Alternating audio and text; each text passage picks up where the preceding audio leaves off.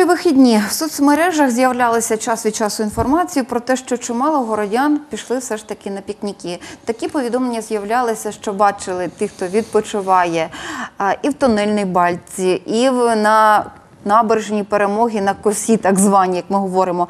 Як працювали з такими порушниками режиму карантину? Поки попереджували чи вже протоколи складали? Поки що попереджили, попереджували, і на сьогоднішній день, на жаль, немає відповідальності за такі порушення норм карантину. Я вважаю, що це є порушення норм карантину, але немає передбаченої відповідальності, тому що там є певна норма, яка в постанові Кабінету міністрів, яка забороняє збиратися людям більше 10 осіб. Ну, як правило, пікнік це до 10 осіб, вони там ту норму витримували. Але це абсолютно не є правильна поведінка громадськості, і ми маємо розуміти, що коронавірус це не щось таке віртуальне придумати кимось, це реально і е, Іспанія, Америка, ну, США, Італія, Італія, вони показують зі своїм величезним рівнем медицини і державницькості вони показують, що дуже дуже важка хвороба і дуже важко з нею боротися.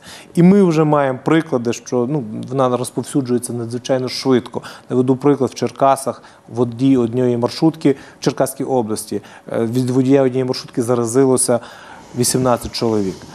А взагалі в цьому поселенні, в маленькому містечку маємо вже 43. Це вже контакти тих осіб, які всього-навсього від однієї людини. Ми маємо приклад е, За лічені дні. та ми маємо приклад Італії, де від одного хворого 800 чоловік. Ми маємо приклад Південної Кореї від одної жінки хворої заразилося тисячі осіб.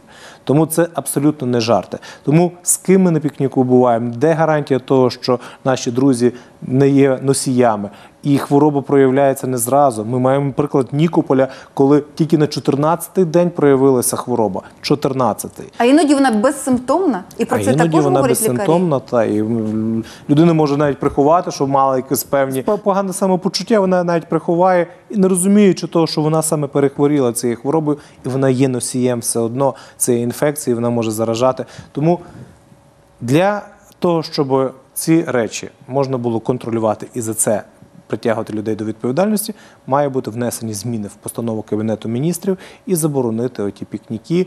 Або рішення місцевих ТБНС, ми будемо виходити з клопотанням, тому що у нас зараз іде е, багато вихідних. У нас будуть і вербна неділя, і Пасха буде, і там вже травневі свята. Однозначно в ці дні потрібно буде обмежувати кількість пікніків і прогулянок. І ми будемо виходити з ініціативи на місцеві ТБНС, чи обласну, чи місцеві, міські. Для того, щоб приймали рішення такі, е, має місцева влада такі повноваження.